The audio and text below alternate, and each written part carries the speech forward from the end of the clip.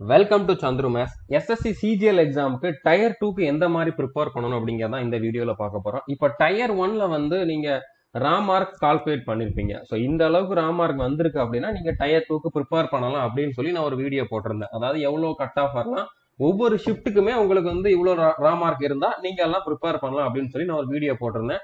அந்த வீடியோ பார்க்காதவங்க பார்த்துக்கோங்க. ஓகே வீடியோவோட லிங்க் வந்து டிஸ்கிரிப்ஷன்ல கொடுத்துறேன் அதை பார்க்காதவங்க பார்த்துக்கோங்க. நீங்க வந்து அந்த மார்க்கை விட அதிகமான மார்க் வந்து ரா மார்க் எடுத்திருக்கீங்க அப்படின்னா நீங்க கட் ஆஃப் கிளியர் பண்றதுக்கு சான்ஸ் இருக்குது. டயர் டூக்குமே வந்து நீங்க ப்ரிப்பேர் பண்ணலாம் ஓகே ஸோ இந்த வீடியோல டயர் டூக்கான கம்ப்ளீட் ஸ்ட்ராட்டஜி என்ன அப்படிங்கிறத வந்து பார்க்க போறோம். இது கம்மியான பேர் தான் பார்ப்பீங்க. கண்டிப்பா ஒரு பதினஞ்சுல இருந்து ஒரு ஐம்பது பேர்கிட்ட தான் இந்த டயர் டூக்குன்னு ப்ரிப்பேர் பண்றவங்க இருப்பீங்க. பட் இருந்தாலும் இந்த பதினஞ்சுல இருந்து ஐம்பது பேர் வந்து ஒரு பெரிய போஸ்ட்டை டார்கெட் பண்றீங்க. அவங்க வந்து செலக்ட் ஆகிறதுக்கான பாசிபிலிட்டி அதிகமாக இருக்குது அப்படிங்கறனால வியூஸ் கம்மியாக வந்தாலும் பிரச்சனை இல்லை அப்படின்னு தான் இந்த வீடியோ வந்து நம்ம வந்து கொடுக்குறோம் ஓகே ஸோ முடிஞ்ச வரைக்கும் இந்த வீடியோவை இந்த மாதிரி எக்ஸாமுக்கு ப்ரிப்பேர் பண்ணுறவங்களுக்காக நீங்கள் ஷேர் பண்ணுங்க. இதில் நம்ம என்னென்னலாம் பார்க்க போகிறோம் அப்படின்னு பார்த்தீங்கன்னா டயர் டூவில் மேத்ஸ் அதுக்கப்புறம் இங்கிலீஷ் இதில் வந்து டாபிக் வைஸ் எவ்வளோ வெயிட்டேஜ் இருக்கும் அப்படிங்கிறத வந்து பார்க்க போகிறோம் அதுக்கப்புறம் இதுக்கான ஸ்டடி ஸ்ட்ராட்டஜி என்ன மாதிரி ஃபாலோ பண்ணணும் அப்படின்னு சொல்லி டோட்டலாக ஒவ்வொரு பாயிண்ட்டாக வந்து டிஸ்கஸ் பண்ண போகிறோம் ஓகே சேஃப் ஸ்கோர் என்ன இருக்கணும்? இந்த டயர் டூவில் வந்து டயர் ஒன் டயர் டூ சேர்த்து சேஃப் ஸ்கோர் வந்து எவ்வளோ வரணும்? ஸோ நீங்கள் எவ்வளோ டார்கெட் வைக்கணும் அப்படிங்கிறது வந்து டிஸ்கஸ் பண்ண போகிறோம் ஓகே ஸோ ஃபர்ஸ்ட் வந்து இது நிறைய பேருக்கு தெரிஞ்சிருக்கும். டயர் ஒன் கிளியர் பண்ணுற லெவலில் இருக்கவங்களுக்கு வந்து இது தெரியாமல் இருக்காது. இருந்தாலும் நான் ஒரு வாட்டி சொல்லிடுறேன் ஓகே இப்போ வந்து இதில் வந்து ரெண்டு பேப்பர் கண்டிப்பாக எல்லாருமே எழுதி ஆகணும். பேப்பர் த்ரீ பேப்பர் ஃபோர் அப்படிங்கிறது வந்து ஒரு சில போஸ்ட்டுக்கு அப்ளை பண்ணவங்களுக்கு மட்டும்தான். ஸோ இது வந்து எல்லாரும் கொடுக்கணும் அப்படிங்கிற மாதிரி அவசியம் இல்லை. ஆனால் இந்த பேப்பர் ஒன் பேப்பர் டூ வந்து எல்லாருமே அட்டன் பண்ணணும் ஓகே டயர் ஒன் கிளியர் பண்ணுற எல்லாருமே அட்டன் பண்ணணும். இதுல பேப்பர் ஒன்ல வந்து பாத்தீங்கன்னா குவான்டிடேட்டிவ் எபிலிட்டிஸ் ஓகே இதுல வந்து நூறு கொஸ்டின் இருக்கும் இரநூறு மார்க்குக்கு ஒரு கொஸ்டினுக்கு ரெண்டு மார்க் இரநூறு மார்க்குக்கு இருக்கும். இதுல வந்து ரெண்டு மணி நேரம் டைம் கொடுப்பாங்க ஓகே ரெண்டு மணி நேரத்துல நூறு மேத்ஸ் கொஸ்டின் வந்து அட்டன் பண்ற மாதிரி இருக்கும். ஸோ கொஞ்சம் டஃபாவே தான் இருக்கும் ஓகே கொஞ்சம் கால்குலேட்டிவ் கொஸ்டின்ஸ் வந்து அதிகமாக தான் இருக்கும். அடுத்ததா இங்கிலீஷ் இங்கிலீஷ்ல வந்து இரநூறு கொஸ்டின் இருக்கும் இரநூறு மார்க்குக்கு ஒரு கொஸ்டினுக்கு ஒரு மார்க்கு ஸோ இதுல வந்து இதுக்குமே ரெண்டு மணி நேரம் கொடுப்பாங்க. ஓகே ஸோ ரெண்டுக்குமே நெகட்டிவ் மார்க் உண்டு. இப்போ இதுல வந்து ஒரு கொஸ்டினுக்கு ஒரு மார்க் அப்படிங்கிறனால சாரி இந்த மேத்ஸ்ல வந்து ஒரு கொஸ்டினுக்கு ரெண்டு மார்க் அப்படிங்கறனால ஒரு கொஸ்டினை தப்பா அட்டன் பண்ணீங்கன்னா பாயிண்ட் ஃபைவ் நெகட்டிவ் இருக்கும். அதாவது ஒன் பை ஃபோர் இருக்கும். ஓகே அதே மாதிரி இதுல இரநூறு கொஸ்டின் இரநூறு மார்க் ஒரு கொஸ்டினுக்கு ஒரு மார்க் அப்படின்னால இதுல வந்து பாயிண்ட் டூ ஃபைவ் வந்து நெகட்டிவ் மார்க் இருக்கும். ஓகே ஸோ நெகட்டிவ் மார்க் பத்தி எல்லாருக்குமே தெரிஞ்சிருக்கும். நம்ம இந்த வீடியோல இந்த ஃபர்ஸ்ட் பேப்பர் செகண்ட் பேப்பருக்கு எப்படி ப்ரிப்பேர் பண்ணணும் அப்படிங்கறத வந்து டீட்டெயிலா டிஸ்கஸ் பண்ண போறோம் ஓகே இப்போ டாபிக் வைஸ் வெயிட்டேஜ் என்ன அப்படின்னு பாத்தீங்கன்னா இப்போ மேத்ஸ்ல வந்து நூறு கொஸ்டின் கேட்குறாங்களா நூறுல மேக்ஸிமம் கொஸ்டின் வந்து பாத்தீங்கன்னா அட்வான்ஸ் மேத்ஸ்ல இருந்தா வரும் ஓகே அட்வான்ஸ் மேத்ஸ் ரொம்ப ரொம்ப இம்பார்ட்டன் ஆனது. அட்வான்ஸ் மேத்ஸ்னு இல்லை எல்லா டாபிக்குமே இம்பார்ட்டன் ஆனது தான் ஓகே இதுல வந்து பாத்தீங்கன்னா பர்சன்டேஜ் டாபிக்ல இருந்து அஞ்சு ப்ராஃபிட் அண்ட் லாஸ்ல இருந்து எட்டு கொஸ்டின் ஆவரேஜ்ல இருந்து ரெண்டு question time speed and distance அப்படிங்கிறப்போ அதுக்குள்ளே போட் அண்ட் ஸ்ட்ரீம் எல்லாமே வந்துடும் ஓகே ட்ரெயின் எல்லாமே அதுலயே வந்துடும் ஸோ இதுல இருந்து நாலு கொஸ்டின் கேட்கறாங்க சிம்பிள் இன்ட்ரெஸ்ட்ல ரெண்டு காம்பவுண்ட் இன்ட்ரெஸ்ட்ல ரெண்டு அதுக்கப்புறம் ரேஷியோல ரெண்டு. இதுலயே வந்து மிக்சர் அண்ட் அலிகேஷனுமே வந்து ரேஷியோவோட ஒரு சப் டாபிக் தான். இதுல இருந்து ரெண்டு கொஸ்டின் கேட்கறாங்க time and work pipe and cistern எல்லாம் சேர்ந்து நாலு கொஸ்டின் கேட்பாங்க. நம்பர் சிஸ்டம்ல இருந்து அஞ்சு கொஸ்டின் எல்சிஎம் ஹெச்சிஎஃப்ல இருந்து ஒரு கொஸ்டின் அதுக்கப்புறம் சிம்பிளிஃபிகேஷன்லேருந்து நாலு கொஸ்டின் பார்ட்னர்ஷிப்ல இருந்தும் ரெண்டு கொஸ்டின் கண்டிப்பா கேட்பாங்க. அடுத்து அதுக்கப்புறம் பாத்தீங்கன்னா நம்பர் சிஸ்டமோட ஒரு பார்ட் தான். சட்ஸ் அண்ட் இண்டிசஸ் அப்படிங்கிறது வந்து இதுல இருந்து நாலு கொஸ்டின் டேட்டா இன்டர்பிரேஷன்ல இருந்து ஏழு கொஸ்டின் கேட்பாங்க. இதெல்லாம் வந்து என்னது? அரித்மெட்டிக் ஓகே இதுல ஒரு சில கொஸ்டின் அதிகமா கம்மியா கேட்டிருக்கலாம். ஆனா ஆவரேஜா இந்த அளவுல கேட்பாங்க ஓகே அல்ஜிப்ரால இருந்து ஆறு கொஸ்டின் கேட்பாங்க. ட்ரிக்னாமெட்ரில இருந்து பத்து கொஸ்டின் கேட்பாங்க. ஹைட் அண்ட் டிஸ்டன்ஸ்ல இருந்து ஒரு கொஸ்டின் ஜாமெட்ரில இருந்து பதினாலு கொஸ்டின் கோஆர்டினேட் ஜாமெட்ரில இருந்து மூணு கொஸ்டின் மென்சுரேஷன்ல இருந்து பன்னெண்டு கொஸ்டின் கேட்பாங்க. ஸோ டோட்டலா நூறு கொஸ்டின் கேட்பாங்க. இதுல நீங்க டோட்டல் பண்ணி பாக்குறப்போ நூறை விட கம்மியாவோ அதிகமாவோ வரலாம். ஏன்னா ஆவரேஜா எந்த மாதிரி கேட்கறாங்க அப்படிங்கறத நான் கொடுத்துருக்கேன். ஓகே அதனால இந்தந்த டாபிக்லாம் எவ்வளவு வெயிட்டேஜ் இருக்குது. ஸோ எப்படி இருந்தாலும் பிரச்சனை இல்லை. நீங்க எல்லா டாப்பிக்கும் படிச்சுதான் ஆகணும். ஆல்ரெடி நீங்க கம்ப்ளீட் பண்ணிருப்பீங்க. ஓகே அதை வந்து கரெக்டா ரிவிஷன் பண்ணி கண்டினியூஸா ப்ராக்டிஸ் பண்ணா மட்டும் போதுமானது. ஓகேவா இதுல இந்த இந்த நூறு கொஷின்ல வந்து இரநூறு மார்க்கா இரநூறுல ஒன் செவன்ட்டிக்கு மேல எல்லாருமே டார்கெட் வைங்க ஓகே ஒன் செவன்ட்டி ஃபைவ்க்கு மேல எடுத்தீங்க அப்படின்னா செலக்ஷன் ஆகிறதுக்கான சான்ஸ் வந்து அதிகமா இருக்குது. இங்கிலீஷ்லயுமே அதே தான். இரநூறு கொஸ்டின் இரநூறு கொஸ்டின் கேட்கறாங்க இரநூறு மார்க்கு இதுலயுமே ஒன் செவன்ட்டி ஒன் செவன்ட்டி ஃபைவ்க்கு மேல டார்கெட் வைங்க ஓகே இதுல ஒவ்வொரு டாபிக்ல இருந்து எத்தனை கொஸ்டின் கேட்கறாங்க அப்படின்னு பாத்தீங்கன்னா ஃபில் இந்த பிளாங்க்ல இருந்து அஞ்சு கொஸ்டின் சென்டென்ஸ் இம்ப்ரூவ்மெண்ட்ல இருந்து இருபத்தி ரெண்டு கொஸ்டின் எரர் ஸ்பாட்டிங்ல இருந்து இருபத்தி ரெண்டு கொஸ்டின் ஆக்டிவ் வாய்ஸ் பாசிவ் வாய்ஸ்ல இருந்து இருபது கொஸ்டின் நேரேஷன் அதாவது டைரக்ட் ஸ்பீச் இன்டைரக்ட் ஸ்பீச்ல இருந்து இருபத்தி ஏழு கொஸ்டின் இதுல அதிகமானது வந்து இதுல இருந்து தான் கேட்கறாங்க ஓகே அடுத்ததா ஜம்பிள் சென்டென்ஸ்ல இருந்து இருபது அப்படின்னா இருபத்தொன்னு கேட்பாங்க ஓகே பிக்யூஆர்எஸ் அப்படிங்கிற மாதிரி சொல்லுவாங்க. அதுல இருந்து இருபதுல இருந்து இருபத்தொரு கொஸ்டின் கேட்பாங்க.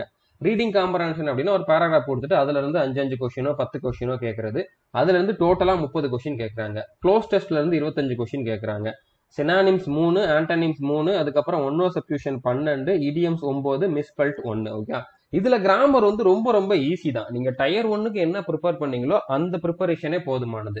ஈவன் மேத்ஸுக்குமே அதுவே போதுமானது. ப்ராக்டிஸ் தான் முக்கியம் ஓகே இங்கிலீஷ்க்குமே அதே தான். டயர் ஒன்னுக்கு என்ன படிச்சீங்களோ அதுவே போதுமானது.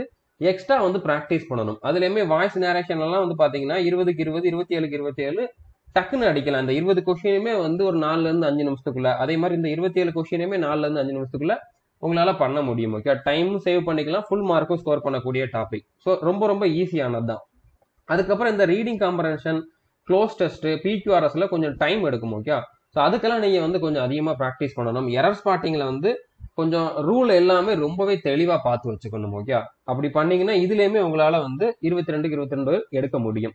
ஸோ இதில் ஒக்காப்லரிக்கு வந்து பார்த்தீங்கன்னா சினானிம்ஸ் ஆண்டனிம்ஸ்க்கான வெயிட்டேஜ் கம்மியாக இருந்தாலுமே ஒன் ஓ சப்யூஷன் இடியம்ஸ்க்கு வந்து கொஞ்சம் அதிகமாகவே கேட்குறாங்க ஓகே ஸோ நம்ம கோர்ஸில் இருக்கவங்க நம்ம கோர்ஸில் கொடுத்துருக்கிறத மட்டும் படிச்சுட்டு அதுக்கப்புறம் இந்த பிளாக் புக்கில் இருக்கக்கூடிய ஒன் ஓ சப்ஸ்டியூஷன் இடியம்ஸ் இதை வந்து கொஞ்சம் எவ்வளோ முடியுமோ அவ்வளோ பார்த்துக்கோங்க. அதில் ரொம்பவே அதிகமாக இருக்கும். எவ்வளோ முடியுமோ அவ்வளோ பார்த்துக்கோங்க. ஆனால் அதுக்கு முன்னால் நம்ம கோர்ஸில் கொடுத்துருந்ததை ஃபஸ்ட்டு கம்ப்ளீட் பண்ணிக்கோங்க. ஓகே ஸோ இதுலேயுமே ஒன் செவன்ட்டிக்கு மேலே எடுக்கிறது ரொம்ப ரொம்ப ஈஸி தான். ஏன்னா மேக்ஸிமம் கொஸ்டின் வந்து கிராமர் கொஸ்டின் தான். ஸோ எல்லாருமே கிராமரில் வந்து ஸ்ட்ராங்காக தான் இருப்பாங்க. டயர் ஒன் கிளியர் பண்ணுவாங்க. வித்தியாசம் எங்கே வரும் அப்படின்னு பார்த்தீங்கன்னா ஒக்காப்ளரியில் தான். ஓகே ஸோ அதனால் ஒக்காப்ளரி தான் வந்து டிசைடிங் ஃபேக்டராக இருக்க போகுது. இதுல கம்மியா தான் கேட்கறாங்க அப்படின்னு சொல்லிட்டு ஸ்கிப் பண்ணிடக்கூடாது. இதுக்கு நீங்க வந்து அதிகமான இம்பார்ட்டன்ஸ் கொடுக்கணும். ஓகே இப்போ இதுல வந்து நீங்க எப்படி ஸ்டார்ட் பண்ணணும்? ஃபர்ஸ்ட் வந்து படிக்கிறதுக்கு எப்படி ஸ்டார்ட் பண்ணணும் அப்படின்னு பாத்தீங்கன்னா இதுல மேத்ஸ் அதுக்கப்புறம் இங்கிலீஷ்க்குன்னு தனியா ப்ரீவியஸ் இயர் கொஸ்டின்ஸ் நிறைய இருக்குது ஓகே அந்த மார்க் டெஸ்ட்டுக்கான லிங்க்குமே நான் சொல்றேன். கிராக்கோ அப்படிங்கக்கூடிய வெப்சைட்ல இந்த டயர் டூ கொஷின்ஸ் வந்து மார்க் டெஸ்டாவே அட்டன் பண்ற மாதிரி தனியா கொடுத்துருக்காங்க. அந்த லிங்க் வந்து வீடியோவோட டிஸ்கிரிப்ஷன்ல கொடுத்துட்றேன் அது எப்படி இருக்கும் அப்படிங்கிறதையுமே வந்து வீடியோவோட எண்டில் உங்களுக்கு நான் காட்டுறேன் ஓகே ஸோ அதுல ஒரு மூணு கொஷின் அதாவது இப்போ ரீசெண்டா நடந்த லாஸ்ட் இயர்ல நடந்த மூணு கொஷின் மேத்ஸ்ல அதுக்கப்புறம் மூணு கொஷின் இங்கிலீஷ்ல இருக்கிறத வந்து நீங்க மார்க் டெஸ்ட்டா அட்டன் பண்ணி பாருங்க ஓகே ஒன்னு ஒன்ல எவ்வளவு ஸ்கோர் வருது அப்படிங்கிறத பாருங்க okay for example one twenty வந்திருக்கலாம் ஒன் தேர்ட்டி வந்திருக்கலாம் ஒன் ஃபார்ட்டி ஃபைவ் வந்திருக்கலாம். ஸோ இந்த மாதிரி மூணு டெஸ்ட்லயுமே மூணு விதமா மார்க் வந்திருக்கும். இந்த மூணுக்குமான ஆவரேஜ் எடுங்க. அதே மாதிரி இங்கிலீஷ்லயுமே மூணுக்குமான ஆவரேஜ் எடுங்க. இந்த ஆவரேஜ் எவ்வளவு வருது அப்படிங்கிறத வச்சு தான் நீங்க வந்து அடுத்து என்ன பண்ணணும் அப்படிங்கிறத வந்து டிசைட் பண்ணணும். ஓகே இப்போ உங்களோட ஆவரேஜ் மார்க் வந்து ஒன் ஃபார்ட்டிக்கு மேல வருது அப்படின்னா உங்களுக்கு வந்து அதுக்கு மேல படிக்க வேண்டிய அவசியம் இல்லை ப்ராக்டிஸ் தான் தேவை. ஓகே இங்கிலீஷ்ல வேணா ஒக்காப்ளரி அந்த மாதிரி ஒரு சில செக்ஷன் படிக்கிற மாதிரி இருக்கலாம். ஆனா மத்தபடி உங்களுக்கு வந்து மேத்ஸ்ல ப்ராக்டிஸ் தான் தேவை. ஒன் ஃபார்ட்டிக்கு மேல வருது அப்படின்னாலே நீங்க ரெகுலரா ப்ராக்டிஸ் பண்ணிக்கிட்டே இருந்தாலே கண்டிப்பா உங்களால வந்து ஒன் செவன்டி ஃபைவ்க்கு மேல எடுக்க முடியும் ஓகே ஸோ மார்க் டெஸ்ட் கண்டினியூஸா போடணும் மார்க் டெஸ்ட் அனலைஸ் பண்ணணும். அதுல எதுல மிஸ்டேக் பண்றீங்களோ அந்த டாப்பிக்கை வந்து ரிவைஸ் பண்ணணும். ஸோ அந்த அந்த டாபிக்ல இன்னும் கொஞ்சம் ஸ்ட்ராங் ஆயிட்டு மறுபடியும் மறுபடியும் மார்க் டெஸ்ட் போட்டுக்கிட்டு இருந்தாலே போதும் ஓகே ஒன் ஃபார்ட்டிக்கு மேல இருக்கவங்களுக்கு வேற எந்த ஒரு எக்ஸ்ட்ரா படிக்க வேண்டிய அவசியம் இல்லை. கண்டினியூஸா ப்ராக்டிஸ் தான் பண்ணணும். ஒன் ஃபார்ட்டிக்கு கம்மியா தான் வருது. One twenty to one forty வந்துச்சுன்னா அவங்களுக்கு சான்ஸ் இருக்குது ஓகே ஒன் டுவெண்ட்டிக்கும் கம்மியா வருது அப்படின்னா கொஞ்சம் கஷ்டம் தான். ஸோ அவங்களுமே வந்து இன்னும் கொஞ்சம் படிக்க வேண்டியிருக்கும். அவங்க டயர் ஒன்ல அந்த அளவுக்கு ப்ரிப்பேர் பண்ணியிருக்க மாட்டாங்க. ஒரு சில டாபிக் மிஸ்டேக் பண்ணியிருக்கலாம். அதாவது மிஸ் பண்ணியிருக்கலாம். ஸோ அந்த மாதிரி இருக்கவங்க வந்து ஒரு சில டாபிக் வந்து பேசிக்ல இருந்து படிக்க வேண்டிய அவசியம் இருக்கும். ஒன் ஃபார்ட்டிக்கு கம்மியா வருது அப்படின்னா அவங்க வந்து ஏதாச்சும் ஒரு கோர்ஸ் இல்லையோ அப்படின்னா புக்லயே வந்து மறுபடியும் எந்தெந்த டாபிக் மிஸ்டேக் பண்றீங்களோ அந்த டாப்பிக்கை படிச்சுட்டு அதுக்கப்புறம் மார்க் போடுறதுக்கு ஸ்டார்ட் பண்ணணும். ஓகே ஸோ புரிஞ்சிருக்கும்னு நினைக்கிறேன். இவங்களுக்குலாம் இன்னும் கொஞ்சம் எக்ஸ்ட்ரா கைடன்ஸ் தேவை. ஸோ முடிஞ்சா நம்மளோட மேத்ஸ் அதுக்கப்புறம் இங்கிலீஷ்க்குன்னு தனியா கோர்ஸ் இருக்குது ஓகே அந்த கோர்ஸ்ல மட்டும்னாலும் நீங்க வந்து ஜாயின் பண்ணனா பண்ணிக்கலாம் ஓகே அந்த கோர்ஸுக்கான லிங்க் வந்து டிஸ்கிரிப்ஷன்ல இருக்குது. அதை கிளிக் பண்ணி நீங்க அதோட ப்ரைஸ் என்ன அப்படிங்கிறத பாத்துக்கலாம் ப்ரைஸ் வந்து கம்மியா தான் இருக்கும் ஓகே ஃபைவ் ஹண்ட்ரடுக்கும் கம்மியா தான் இருக்கும். ஸோ நீங்க அதுல வந்து ஜாயின் பண்ணிக்கலாம். ஸோ இந்த இதில் வந்து உங்களுக்கு டயர் டூ லெவல்லே வந்து டீச் பண்ணிருப்போம் அப்படின்னா நீங்கள் அதுலயே ஜாயின் பண்ணிக்கலாம்.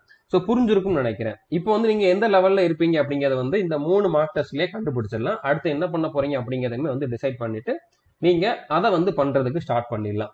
ஓகே இப்போ சேஃப் ஸ்கோர் என்ன இருக்கணும்? இப்போ டயர் ஒன் டயர் டூ ரெண்டுமே சேர்த்து டோட்டலாக எவ்வளோ மார்க்கு இருந்திருக்கும் இருந்திருக்கும்? அறுநூறு மார்க்கு இருந்திருக்கும் ஓகே டயர் ஒன்ல இரநூறு டயர் டூவில் வந்து பேப்பர் ஒன்ல இரநூறு பேப்பர் டூவில் இரநூறு ஸோ நானூறு டோட்டலா அறுநூறு. அறுநூறு மார்க்குக்கு ஒவ்வொரு கேட்டகரிக்குமே வந்து இவ்வளவு சேஃப் ஸ்கோர் வரணும் ஓகே இதை வச்சு நீங்க வந்து உங்களோட டார்கெட்டை செட் பண்ணிக்கலாம். டயர் ஒன்ல உங்களுக்கு எவ்வளவு வரும் அப்படின்னு சொல்லி உங்களுக்கு தெரியும். ஸோ அது போக மிச்சம் இருக்கக்கூடிய மார்க் வந்து உங்களுக்கு டயர் டூல தெரியணும் ஓகே அவ்வளவு வந்து வந்திருக்கணும். ஸோ அதை வந்து நீங்க டார்கெட்டா வச்சுக்கோங்க. ஸோ யூஆர் கேட்டகரியில் இருக்கவங்க ஃபோர் எயிட்டிக்கு மேல ஸ்கோர் பண்ணீங்க அப்படின்னா அட்லீஸ்ட் ஏதாச்சும் ஒன்று கிடைக்கும் ஓகே இதுல வந்து உங்களுக்கு ரொம்பவே நல்ல போஸ்ட் கிடைச்சிரும் அப்படிங்கிற மாதிரிலாம் இல்லை. ஹையர் சேலரி இருக்கக்கூடிய போஸ்ட் கிடைச்சிடும் அப்படிங்கிற மாதிரி இல்லை. இந்த சிஜிஎல்ல ஏதாச்சும் ஒரு போஸ்ட் கிடைக்கணும் அப்படின்னு சொல்லி பார்த்தோம் அப்படின்னா இவ்வளவு இருக்கணும் ஓகேவா ஸோ உங்களுக்கு நல்ல போஸ்ட் வேணும் அப்படின்னா இதை விட ஒரு முப்பது நாற்பது மார்க் அதிகமா எடுக்கணும். அந்த மாதிரி டார்கெட் வச்சுக்கோங்க. இடபிள்யூஎஸ் கேண்டிடேட்ஸ் வந்து ஃபோர் செவன்டி டூக்கு மேல எடுக்கணும் ஓகே ஓபிசிலனா ஃபோர் சிக்ஸ்டி எயிட்டுக்கு மேல எடுக்கணும். எஸ்சி கேண்டிடேட்ஸ் வந்து ஃபோர் டென்னுக்கு மேல எடுக்கணும். எஸ்டி கேண்டிடேட்ஸ் வந்து த்ரீ எயிட்டி ஃபைவ்க்கு மேல எடுக்கணும். ஏதாச்சும் ஒரு போஸ்ட் கிடைக்கிறதுக்காக சொல்றது ஓகே ஸோ இதில் வந்து நீங்கள் டயர் ஒன் மார்க்கை கழிச்சிட்டு டயர் டூவில் எவ்வளோ வருதோ அதை வந்து டார்கெட்டாக வச்சுக்கோங்க ஓகே அதாவது ரிமைனிங் எவ்வளோ வருதோ அதை வந்து டயர் டூவில் ரெண்டு பேப்பர்லையும் சேர்த்து இதுக்கு மேலே எடுக்கணும் அப்படிங்கிற மாதிரி டார்கெட் வச்சுக்கோங்க. இதுக்கு மேலேயும் ஒரு முப்பது நாற்பது மார்க் எக்ஸ்ட்ரா வச்சுக்கிறது நல்லது நல்ல போஸ்ட் கிடைக்கணும் அப்படின்னா ஓகே இப்போ ஸ்ட்ராட்டஜி எந்த மாதிரி ஃபாலோ பண்ணணும் அப்படிங்கிறத பார்க்கலாம் ஓகே வெறுமனே நீங்க மார்க் டெஸ்ட்டை கண்டினியூஸா கொடுத்துக்கிட்டே இருந்தீங்க அப்படின்னா உங்க மார்க் வந்து அந்த மாதிரி பண்ணிக்கிட்டே இருந்தா மட்டும் இன்க்ரீஸ் ஆகாது ஓகே மார்க் டெஸ்ட்டை வந்து அனலைஸ் பண்ணணும். அனலைஸ் பண்ணாம வெறுமனே நான் கண்டினியூஸா மார்க் போட்டுக்கிட்டே இருக்கேன். டெய்லி மூணு மார்க் போடுறேன். அதுல வந்து ஆவரேஜா எப்பவுமே எனக்கு வந்து ஒன் தேர்ட்டி ஒன் தேர்ட்டி தான் வந்துகிட்டே இருக்கு. அப்படின்னா எந்த யூஸுமே இல்லை. நீங்க கடைசி வரைக்கும் போட்டாலும் உங்களுக்கு ஒன் தேர்ட்டி தான் வரப்போகுது. ஸோ அப்போ என்ன பண்ணணும்னா ஏன் ஒன் தேர்ட்டி வருது? என்ன மிஸ்டேக் பண்றேன் அப்படிங்கிறத வந்து பார்க்கணும். இப்போ டைம் வந்து பத்தலையா? அப்படி இல்லைன்னா நான் மிஸ்டேக் பண்றேன்னா அல்லது அல்லது வந்து இந்த டாபிக்ல வந்து நான் வீக்கா இருக்கேனா? அப்படிங்கிறத வந்து நீங்க அனலைஸ் பண்ணணும். ஸோ டயர் ஒன் கிளியர் பண்றவங்களுக்கு எப்படி அனலைஸ் பண்ணணும்னு சொல்ல வேண்டிய அவசியமே இல்லை. ஓகே நீங்க அட்டன் பண்ண அந்த கொஷினை பாருங்க. எந்தெந்த டாபிக்ல வந்து மிஸ்டேக் பண்ணிருக்கீங்க? எந்தெந்த கொஷின்ல மிஸ்டேக் பண்ணிருக்கீங்க? அப்படிங்கிறத பாருங்க. மேக்சிமம் ரிப்பீட்டடா ஒரே டாபிக்ல தான் மிஸ்டேக் பண்ணுவீங்க. ஸோ அப்போ அந்த டாப்பிக்கை மட்டும் இன்னொரு வாட்டி நல்லா ரிவைஸ் பண்ணுங்க. நம்ம கொடுத்துருக்கக்கூடிய நோட்ஸா இருக்கட்டும் அப்படிலாம் நீங்க படிச்ச புக்கா இருக்கட்டும் அதுல வந்து இன்னொரு வாட்டி நல்லா ரிவைஸ் பண்ணுங்க. முடிஞ்சா ரொம்பவே வீக்கா இருக்கீங்க அப்படிங்கிற மாதிரி தெரிஞ்சு அதை பேசிக்ல இருந்தே படிச்சுக்கோங்க. ஃபுல்லா முதல்ல இருந்து வீடியோ பார்த்து கூட படிச்சுக்கோங்க. அந்த மாதிரி கொஞ்சம் கொஞ்சமா தான் இம்ப்ரூவ் பண்ண முடியும் ஓகே ஒவ்வொரு மார்க் டெஸ்டையுமே நீங்க வந்து அனலைஸ் பண்ணணும். ஒரு ரேஞ்ச் வரைக்கும் ஒரு ஒன் ஃபிஃப்டி வரைக்கும் வர்ற வரைக்குமாவது நீங்க வந்து அனலைஸ் பண்ணிக்கிட்டே இருக்கணும். அதுக்கப்புறம் உங்களோட கால்குலேஷன் ஸ்பீடு வந்து இம்ப்ரூவ் பண்றதுக்காக கண்டினியூஸா நீங்க மார்க் போட்டுக்கிட்டே இருக்கலாம். அனலைஸ் பண்ணாமலே கூட மார்க் போடலாம். ஆனா ஸ்டார்டிங்ல அனலைஸ் பண்ணி உங்களோட வீக்னஸ் என்ன ஸ்ட்ரென்த் என்ன அப்படிங்கறத வந்து தெரிஞ்சுக்கணும். ஓகே ஸோ நீங்க வந்து மார்க் மட்டும்தான் போட்டுக்கிட்டு இருக்கேன் அப்படிங்கிற மாதிரி அதை மட்டுமே போட்டுக்கிட்டு இருக்க கூடாது டெய்லி ஒரு ஒரு டாப்பிக்காவது வந்து ரிவைஸ் பண்ணணும். மேத்ஸ்ல ஒரு டாபிக் இங்கிலீஷ்ல ஒரு டாபிக் வந்து அதுக்குள்ள ரூல் அதுக்கப்புறம் அதுக்குள்ள ஃபார்மாஸ் எல்லாத்தையுமே வந்து ரிவைஸ் பண்ணிக்கிட்டே இருங்க. கண்டினியூஸா ரிவைஸ் பண்ணிக்கிட்டே இருங்க ஓகே அது ஆட்டோமேட்டிக்கா உங்களோட ஸ்கோரை வந்து இம்ப்ரூவ் பண்ணும். அதுக்கப்புறம் பாத்தீங்கன்னா ஒரு நாளைக்கு இந்த மார்க் போக மார்க் வந்து நீங்க மேத்ஸ்ல அட்லீஸ்ட் ஒரு ஒரு மார்க் டெஸ்டாவது வந்து டெய்லி போட்டுக்கிட்டே இருக்கணும் ஓகே இங்கிலீஷ்க்கு வந்து பாத்தீங்கன்னா weekly two to three mark test வந்து போட்டா போதும். அது போக எக்ஸ்ட்ரா ஒரு நூறு கொஷினாவது மேத்ஸ்ல நீங்க வந்து ப்ராக்டிஸ் பண்ணி ஆகணும் ஓகே அது வேற ஏதாச்சும் புக்ல இருக்கலாம். இப்போ previous year questions Kiran's book கண்டிப்பா நிறைய பேர் வச்சிருப்பீங்க. ஸோ கிரன்ஸ் புக் வாங்காதவங்க கூட வாங்கிக்கலாம். டயர் டூ லெவல்ல இருக்கக்கூடியதை வாங்கிக்கோங்க. ஸோ அதுல இருக்கக்கூடிய கொஷினை வந்து மினிமம் ஒரு நூறு கொஷினாவது டெய்லி ப்ராக்டிஸ் பண்ணணும் ஓகே இந்த மார்க் போட்டது போக மினிமம் ஒரு நூறு கொஷினாவது ப்ராக்டிஸ் பண்ணுங்க. இதுல இன்னொன்னு முக்கியமானது என்ன அப்படின்னு பாத்தீங்கன்னா இப்ப ரெண்டு மணி நேரம் கண்டினியூஸா உட்காந்து டெஸ்ட் போடுறதுதான் கஷ்டம் ஓகே நீங்க வந்து ஹாலில் உட்காந்து ரெண்டு மணி நேரம் வந்து போடுறதுதான் கஷ்டம். ஒரு ஒன் ஹவர் வரைக்கும் நீங்கள் கொஞ்சம் ஆக்டிவாக இருப்பீங்க. ரெண்டு மணி நேரம் மேத்ஸ் போடணும் அப்படிங்கிறப்ப மைண்ட் வந்து ஆட்டோமேட்டிக்காக டயர்ட் ஆகும் ஓகே அதுக்கு நம்மளை நாமளே வந்து ட்ரெயின் பண்ணிக்கணும். நம்மளுக்கு வந்து அந்த ஸ்டாமினா இருக்கணும். ஒரு ரன்னிங் போகிறதுக்கு வந்து இப்போ அஞ்சு கிலோமீட்டர் ஓடணும் அப்படின்னா எட்டு கிலோமீட்டர் பத்து கிலோமீட்டர் ஓடுற ஸ்டாமினா இருந்துச்சு அப்படின்னா அஞ்சு கிலோமீட்டர் ஓடுறது ஈஸி அதே மாதிரி தான் இங்கேயும். நீங்க ரெண்டு மணி நேரம் உட்காந்து டெஸ்ட் கொடுக்கணும் அப்படின்னா அதுக்கு மூணு மணி நேரமாவது உட்காரக்கூடிய எபிலிட்டி உங்ககிட்ட இருக்கணும். ஸோ நீங்க ப்ராக்டிஸ் பண்றப்பே வந்து கண்டினியூஸா டெய்லி ஒரு மூணு மணி நேரம் உட்காந்து பண்ற மாதிரி ப்ராக்டிஸ் பண்ணுங்க ஓகே ஒரு மார்க் டெஸ்ட் ஃபுல்லா போட்டுட்டு அடுத்த இந்த நூறு கொஸ்டின் அப்படிங்கிற மாதிரி கண்டினியூஸா ஒரே இடத்துல உட்காந்து விடாம ப்ராக்டிஸ் பண்ணுங்க. கேப் விடாம கேப் விடாம ப்ராக்டிஸ் பண்ணுங்க. ஒரு சிலர் என்ன பண்ணுவாங்க இப்ப மார்க்லேயே வந்து ஒரு மணி நேரம் பண்ணிட்டு அப்புறம் மார்க் டெஸ்ட் வந்து பாஸ் பண்ணிட்டு அப்புறம் கொஞ்சம் நேரம் கழிச்சு பண்ணுவாங்க. அந்த மாதிரி பண்ணீங்க அப்படின்னா எக்ஸாம்ல போய் உங்களுக்கு ப்ராப்ளம் வர்றதுக்கு வாய்ப்பு இருக்குது. உங்களால கான்சென்ட்ரேட் பண்ண முடியாம போகலாம். ஸோ அதனால மூணு மணி நேரம் ப்ராக்டிஸ் பண்றத வந்து ஒரு ஒரு ஹேபிட்டாவே வச்சுக்கோங்க ஓகே இப்போ இந்த மாதிரி நீங்க மார்க் போடுறப்போ இந்த மாதிரி டெய்லி நூறு கொஷின் போடுறப்போ ரிவிஷன் பண்றப்பெல்லாம் வந்து ஒரு நல்ல கொஷினா உங்களுக்கு தோணலாம் ஓகே இது வந்து வித்தியாசமா இருக்குது கொஞ்சம் டஃப்பா இருக்குது அப்படின்னு சொல்லி தோணும்ல. அந்த மாதிரி கொஷின் எல்லாம் நீங்க நோட்ஸ் எடுத்து வச்சுக்கோங்க. தனியா நோட் பண்ணி வச்சுக்கோங்க.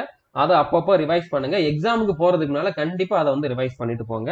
ஏன்னா டஃப்பான கொஷின்ஸ் வர்றப்போ கண்டிப்பா நீங்க வந்து அந்த இடத்துல ஈஸியா சால்வ் பண்ண முடியும். ஓகே அடுத்ததா கால்குலேஷன் ஸ்பீடை வந்து இம்ப்ரூவ் பண்றது எப்படி அப்படிங்கிறது வந்து நிறைய பேருக்கு டவுட் இருக்கும். ஓகே இப்போ எல்லா கொஸ்டினுக்குமே ஷார்ட்கட் இருக்கிற மாதிரிலாம் கொஸ்டின் கேட்கல. ஷார்ட்கட்ஸ் கண்டிப்பா இருக்குது. ஆனா இப்பெல்லாம் ரீசெண்டா நடக்கக்கூடிய சிஜிஎல் மெயின்ஸ் லெவல் எக்ஸாம்ல வந்து பாத்தீங்கன்னா ஈவன் ப்ரிலிம்ஸ்லயே வந்து பாத்தீங்கன்னா நீங்க ஷார்ட்கட் இருக்கக்கூடிய கொஷின் வந்து ரொம்பவே கம்மியா தான் பார்ப்பீங்க. நீங்க வந்து உங்களுக்கு அந்த கொஷினை அண்டர்ஸ்டாண்ட் பண்ணி பேசிக் மெத்தட்ல போட்டாதான் ஆன்சர் வரும் அப்படிங்கிற மாதிரி இருக்கக்கூடிய கொஷின் தான் நிறைய கேட்கறாங்க ஓகே அதனால நீங்க பேசிக்ல வந்து ஸ்ட்ராங்கா இருந்தாலே கண்டிப்பா உங்களால வந்து நல்லாவே ஸ்கோர் பண்ண முடியும். நிறைய பேர் நார்த் இந்தியன்ஸ் எல்லாம் பாத்தீங்கன்னா எல்லா கொஷினையுமே வந்து பேசிக் மெத்தடை யூஸ் பண்ணியே ஒன் நைன்டிக்கு மேல ஸ்கோர் பண்ணவங்கலாம் இருக்காங்க. அவங்களோட கால்குலேஷன் ஸ்பீட் வந்து அதிகமா இருக்கும். மல்டிபிளிகேஷன் டிவிஷன் எல்லாமே டக்கு டக்குன்னு பண்றவங்களா இருப்பாங்க. அது வந்து எப்படி கொண்டு வரலாம் அப்படின்னு பாத்தீங்கன்னா டெய்லி ஒரு பதினஞ்சுல இருந்து இருபது நிமிஷம் கால்குலேஷனுக்குன்னு தனியா கொடுக்கணும் ஓகே சும்மானாலும் மல்டிபிள் பண்ணி பாருங்க ஓகே இப்போ வந்து பாத்தீங்கன்னா two thirty five into sixty two இப்படிங்கிற மாதிரி மல்டிபிள் பண்ணுங்க. இதுலயே வந்து பாயிண்ட் வச்சு மல்டிபிள் பண்ணி பாருங்க டிவைட் பண்ணி பாருங்க. உங்களுக்கு என்ன தோணுதோ எந்த நம்பர் தோணுதோ அந்த இதை வந்து மல்டிபிளிகேஷன் டிவிஷன் சப்ராக்ஷன் அடிஷன் எல்லாத்துக்குமே வந்து ஒரு இருபது நிமிஷம் நீங்களா நீங்களா உங்களுக்கு என்ன தோணுதோ அதை வந்து எழுதி எழுதி பார்த்துக்கிட்டே இருங்க ஓகே நீங்க கால்குலேஷன் வந்து இப்படிதான் இம்ப்ரூவ் பண்ண முடியும். ஏன்னா நம்ம இந்த மாதிரி இடத்துல தான் யோசிப்போம். இவ்வளவு பெருசா வருது இந்த மாதிரி பண்ற இடத்துல வந்து என்ன பண்ணலாம்னு யோசிச்சே டைம் வேஸ்ட் ஆயிடும். ஸோ நீங்க எதுவுமே பண்ண வேண்டாம். நீங்க பேசிக்ல ஸ்ட்ராங்கா இருந்தாலே உங்களால வந்து கிளியர் பண்ண முடியும் ஓகே அதனால டெய்லி அட்லீஸ்ட் ஒரு பதினஞ்சுல இருந்து இருபது நிமிஷம் கால்குலேஷனுக்கு கொடுத்துருங்க ஓகே அடுத்ததா பாத்தீங்கன்னா கொஸ்டினை ஸ்கிப் பண்றதுக்கும் கத்துக்கணும். இரநூறுக்கு இரநூறு கொஸ்டினை நான் அட்டன் பண்ணிடுவேன். நூறுக்கு நூறு கொஸ்டின் அட்டன் பண்ணிடுவேன் அப்படிங்கிற மாதிரி பண்ணிட்டு நெகட்டிவ் மார்க்ல போயிடக்கூடாது டைம் வந்து வேஸ்ட் பண்ணிடக்கூடாது ஓகே ஸோ இது வந்து நீங்க கண்டினியூஸா ப்ராக்டிஸ் பண்ண ப்ராக்டிஸ் பண்ணதான் உங்களுக்கு வந்து இந்த எபிலிட்டி வந்து வரும் ஓகே ஸோ அதாவது ஒரு கொஷினை பார்த்தப்பே உங்களுக்கு தெரிஞ்சிடும் நீங்க நிறைய ப்ராக்டிஸ் பண்ணிட்டீங்க அப்படின்னா பாக்குறப்ப இதுக்கான மெத்தட் என்ன அப்படிங்கிறது உங்க மைண்ட்ல ஆட்டோமேட்டிக்கா வந்துடும் ஸோ அப்போ கண்டிப்பா சால்வ் பண்ணிடலாம் அப்படிங்கிற மாதிரி தெரியும். ஆனா அந்த கொஷினை பார்த்ததுக்கு பார்த்தா எப்படி இதை சால்வ் பண்ணலாம் அப்படிங்கிற மாதிரி யோசிக்கிறீங்க அப்படின்னா அந்த கொஷினை ஸ்கிப் பண்ணணும் அப்படிங்கிற மாதிரி அர்த்தம் ஓகே ஒரு சில கொஷினை பார்த்த உடனே தெரியும் இது பெரிய கொஷின் ஆனா நம்மளால பண்ண முடியும் அப்படின்னு அதை வந்து மார்க் ஃபார் ரிவ்யூ கொடுத்துட்டு ஸ்கிப் பண்ணணும். ஒரு சில கொஷின்லாம் வந்து பார்த்தாலே இது நம்மளுக்கு வந்து புதுசா இருக்குது அப்படிங்கிற மாதிரி தெரியும். அதை வந்து ஸ்கிப் பண்ணிருங்க. கம்ப்ளீட்டாவே ஸ்கிப் பண்ணிருங்க. கடைசியில டைம் இருந்தா மட்டும் பாத்துக்கலாம் ஓகே ஸோ கொஸ்டினை வந்து மூணு விதமா பிரிச்சுக்கலாம். ஒன்னு வந்து எனக்கு தெரிஞ்சது நான் படிச்சது தெரிஞ்சது கண்டிப்பா போட்டுருவேன் டக்குன்னு போட்டுருவேன். அதை வந்து நீங்க பார்த்த உடனே அட்டன் பண்ணிருங்க. இன்னொன்று வந்து பாத்தீங்கன்னா நான் இதை வந்து படிச்சிருக்கேன் ஆனா இந்த மாதிரி கொஸ்டின் ப்ராக்டிஸ் பண்ணல. இருந்தாலும் ட்ரை பண்ணோம்னா என்னால ஆன்சர் பண்ண முடியும். அதை வந்து மார்க் ஃபார் ரிவ்யூ கொடுத்துட்டு ஸ்கிப் பண்ணுங்க. மூணாவது கேட்டகரியில் இருக்கிறது நான் இந்த மாதிரி கொஷின் வந்து பார்த்ததில்ல. கொஞ்சம் டைம் எடுக்கும் அப்படிங்கிற மாதிரி இருக்கக்கூடிய கொஷினா இருக்குது அப்படின்னா அதை டைரக்டா ஸ்கிப் பண்ணிருங்க. ஓகே ஸ்கிப் பண்ணிட்டு கடைசியில இந்த இதெல்லாம் முடிச்சதுக்கு அப்புறம் டைம் இருந்தா மட்டும் இதை வந்து ட்ரை பண்ணி பார்க்கலாம். ஓகே ஸோ இது வந்து நீங்க ஒவ்வொரு மார்க் டெஸ்ட்லயுமே ஃபாலோ பண்ணுங்க. கண்டிப்பா நீங்க வந்து நிறைய மார்க் டெஸ்ட் போடுறப்போ ஆட்டோமேட்டிக்கா இந்த இது இந்த ஸ்கில் வந்து உங்களுக்கு வந்துடும் ஓகே இந்த மாதிரி பண்றதுனால நெகட்டிவ் மார்க் அவாய்ட் பண்ண முடியும். அதுக்கப்புறம் பாத்தீங்கன்னா டைம் சேவ் பண்ண முடியும். ஓகே ஸோ புரிஞ்சிருக்கும்னு நினைக்கிறேன். அடுத்ததா மார்க்கை வந்து இன்க்ரீஸ் பண்றது அந்த அளவுக்கு ஈஸி கிடையாது ஓகே இப்போ இப்போ உங்களுக்கு வந்து ஒரு அந்த மூணு மார்க் டெஸ்ட் போடுறப்போ ஒரு ஒன் ஃபார்ட்டி கிட்ட வந்துருச்சு அப்படின்னா அடுத்து ஒவ்வொரு மார்க்குமே வந்து இன்க்ரீஸ் பண்றது ரொம்பவே கஷ்டமானது ஓகே ஒரு ஒரு மார்க் டெஸ்ட் போட்டேன் அப்படின்னா எனக்கு ஒரு மார்க் ஒரு மார்க் இன்க்ரீஸ் ஆகும் அப்படிங்கிற மாதிரி தான் ஃபார்முலா ஓகே இதுதான் வந்து டாப்பர்ஸ் எல்லாருமே சொல்றது. நான் வந்து ஒரு நூறு மார்க் போட்டிருக்கேன் நூத்தம்பது மார்க் போட்டிருக்கேன். அதுக்கப்புறம் தான் என்னால வந்து ஒன் எயிட்டி ஒன் நைன்டி கிட்ட ஸ்கோர் பண்ண முடியுது அப்படிங்கிற மாதிரி தான் நிறைய பேர் சொல்லியிருக்காங்க. ஸோ அப்படிங்கறனால நீங்க ஒரு மார்க் டெஸ்ட்டுக்கு ஒரு மார்க் இன்க்ரீஸ் ஆகும் அப்படிங்கிற மாதிரி தான் வச்சுக்கணும் ஓகே ரெண்டு மூணு மார்க் டெஸ்ட் போட்ட உடனே ஒன் ஃபார்ட்டில இருந்து ஒன் செவன்ட்டி வரைக்கும் போகல அப்படிங்கிற மாதிரி ஃபீல் பண்ணக்கூடாது. எவ்வளவு முடியுதோ அவ்வளவு மார்க் டெஸ்ட் போடுங்க. ஆட்டோமேட்டிக்கா மார்க் வந்து இன்க்ரீஸ் ஆகும். அனலைஸ் பண்ணுங்க. ஃபர்ஸ்ட் ஒரு பத்து பதினஞ்சு மார்க் டெஸ்ட் வந்து அனலைஸ் பண்ணுங்க. கண்டிப்பா மார்க் வந்து இன்க்ரீஸ் ஆகும். இதுல அவசரப்படக்கூடாது. பொறுமையா தான் இன்க்ரீஸ் பண்ண முடியும் ஓகே நீங்க ஒரு லெவல்ல இருக்கீங்க அந்த லெவல்ல இருந்து மேல போகணும் அப்படின்னா ஸ்டெப் பை ஸ்டெப்பா தான் போக முடியும். விடாம பண்ணிக்கிட்டே இருந்தா மட்டும்தான் போக முடியும் ஓகேவா ஸோ இதுல ஒரு சில லிங்க் நான் கொடுக்குறேன் அப்படிங்கிற மாதிரி சொல்லியிருந்தேன் ஓகே அதாவது ரெண்டு லிங்க் கொடுக்குறேன் டிஸ்கிரிப்ஷன்ல அந்த ரெண்டு லிங்கையும் ஓப்பன் பண்ணீங்க அப்படின்னா ஃபர்ஸ்ட் வந்து இந்த ப்ரீவியஸ் இயர் கொஸ்டின் இருக்கக்கூடிய பிடிஎஃப் எல்லாமே இருக்கும் ஓகே இது வந்து டிரைவ் லிங்க் தான். இதை ஓப்பன் பண்ணீங்கன்னா இந்த பிடிஎஃப் எல்லாமே உங்களுக்கு வரும் ஓகே இதுல வந்து டயர் ஒன் அதுக்கப்புறம் டயர் டூக்குள்ள கொஸ்டின்ஸ் எல்லாமே இருக்குது. மற்ற ஒரு ஒரு சில எக்ஸாம்ல இருக்கக்கூடிய இம்பார்ட்டன்ட் கொஸ்டின்ஸ் அதுக்கப்புறம் ரொம்பவே வந்து கஷ்டமான கொஸ்டின்ஸ் அந்த மாதிரி வந்து இந்த மாதிரி டயர் டூக்கு உங்களுக்கு என்னெல்லாம் தேவையோ அது எல்லாமே இதுல இருக்கும். ஸோ இந்த பிடிஎஃப் எல்லாத்தையுமே நீங்க வந்து ஃப்ரீயாவே பாத்துக்கலாம் இந்த லிங்கை வந்து ஓப்பன் பண்ணீங்கன்னா இது எல்லாமே கிடைக்கும் உங்களுக்கு ஓகே ஸோ இதை கண்டிப்பா நீங்க எக்ஸாமுக்கு முன்னால ஒரு ரெண்டு மூணு வாட்டியாவது ப்ராக்டிஸ் பண்ணிட்டு போங்க ஓகே அடுத்ததா இந்த மார்க் டெஸ்ட்டுக்குள்ளது இந்த மார்க் டெஸ்ட் வந்து உங்களுக்கு ஃப்ரீயாவே இருக்கும். ப்ரீவியஸ் இயர் கொஸ்டினை மார்க் டெஸ்ட்டாகவே நீங்க அட்டன் பண்ணிக்கலாம் ஓகே ஆக்சுவலா எந்த மாதிரி கேட்டிருந்தாங்க அப்படிங்கறத வந்து பாத்துக்கலாம் ஸோ இதை வந்து நீங்க கண்டிப்பா அட்டன் பண்ணி பாருங்க ஓகே இது வந்து கிராக்கோ அப்படிங்கக்கூடிய வெப்சைட்ல ஃப்ரீயாவே கொடுத்துருக்காங்க. அதுக்கப்புறம் கண்டிப்பா நீங்க மார்க் டெஸ்ட்டுக்கு பே பண்ணி கண்டிப்பா எதுலயாச்சும் ஒன்று வாங்கிக்கோங்க. அதாவது டெஸ்ட் புக்லேயே வந்து கம்மியான ப்ரைஸ்லேயே வந்து இருக்குது நல்லாவே கொடுத்துருக்காங்க. ஸோ டெஸ்ட் புக்லேயே நீங்கள் வந்து மார்க் வாங்கினாலும் வாங்கிக்கலாம் ஓகே ஏன்னா டெய்லி ரெண்டு ரெண்டு மார்க் போடணும் அப்படிங்கிறனால இங்கிலீஷில் ஒன்று அதுக்கப்புறம் மேத்ஸில் ஒன்று போடணும் அப்படின்னால உங்களுக்கு வந்து mark test paid mark test தான் கரெக்டாக இருக்கும். ஸோ அதை வந்து நீங்கள் கம்மியான ப்ரைஸாக தான் இருக்கும். அதை வந்து நீங்கள் வாங்கிக்கோங்க. அதை வந்து டெய்லி ப்ராக்டிஸ் பண்ணுங்க. ஓகே ஸோ கண்டிப்பாக புரிஞ்சிருக்கும்னு நினைக்கிறேன். வேற எதுவும் டவுட் இருக்குது அப்படின்னா நீங்கள் கமெண்ட் பண்ணி கேளுங்க. குரூப்பில் கேட்டிங்கன்னா மனோஜ் தம்பியுமே வந்து உங்களுக்கு வந்து கிளியர் பண்ணுவார். ஓகே ஆல்ரெடி அவர் வந்து எஸ்எஸ்சி சிஜிஎல் எக்ஸாம் கிளியர் பண்ணி ஜாப்ல இருக்கிறவர் தான். ஈவன் இந்த லிங்க் வந்து அவர் கொடுத்தது தான். ஓகே அவரோட நேம் தான் இதில் இருக்குது. ஓகே அவர் கொடுத்தது தான். ஸோ அவர் கொடுத்தது அப்படின்னாலும் கண்டிப்பாக நீங்கள் வந்து ஃபாலோ பண்ணுங்க. வேற என்ன டவுட்னாலும் நீங்கள் குரூப்பில் கேட்கலாம். குரூப்ல அவருமே வந்து உங்களுக்கு ரிப்ளை பண்ணுவார் நானுமே வந்து உங்களுக்கு ரிப்ளை பண்ணுவேன் ஓகே ஸோ புரிஞ்சிருக்கும் நினைக்கிறேன். கண்டிப்பா வீடியோ உங்களுக்கு யூஸ்ஃபுல்லா இருந்திருக்கும் நம்புறேன். கம்மியான பேர் பார்த்திருந்தாலும் வீடியோவை ஃபுல்லா பார்த்திருப்பீங்க அப்படின்னு சொல்லி நினைக்கிறேன் ஓகே ஸோ இது வரைக்கும் நம்ம சேனலை சப்ஸ்கிரைப் பண்ணாதவங்க சப்ஸ்கிரைப் பண்ணிட்டு பெல் ஐக்கானே கிளிக் பண்ணி வச்சுக்கோங்க. தேங்க்யூ